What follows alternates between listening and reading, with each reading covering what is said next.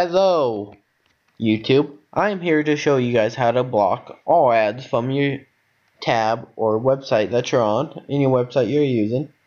One step, there's two different ways. One step is if you have a lot of them that just pop up in the middle of your page, like on, like say I'm on Craigslist, and they just pop up in the middle of the listings every five times.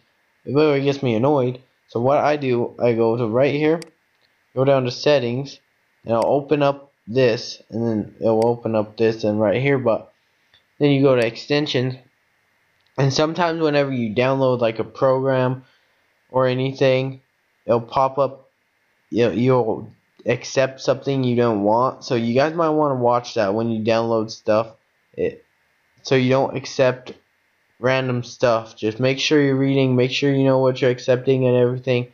That's key.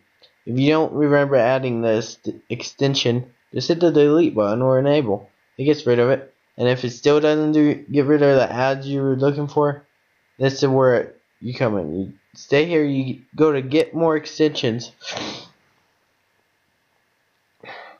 You're gonna type in ad block ad block and you're gonna hit search or start and it's this extension right here ad blocker from getadblock.com and this allows you to block all ads on your on the web page you're on. Like on my YouTube it says 30 right here. It'll pop up right here. You can hide it so it doesn't show it on this. Ever since I downloaded like a couple days ago, I blocked 2,719 ads in total. That's a lot of ads. I'm glad I don't have to see them anymore. But yeah, this is basically it. It's pretty simple on how to block ads.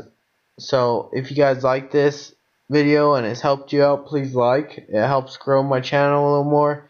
And I know I don't have all consistent stuff on my channel. I have random stuff, but hey, people like it. People watch it, so I'm just trying to help whatever I can do. So thank you for watching, and yeah, peace out.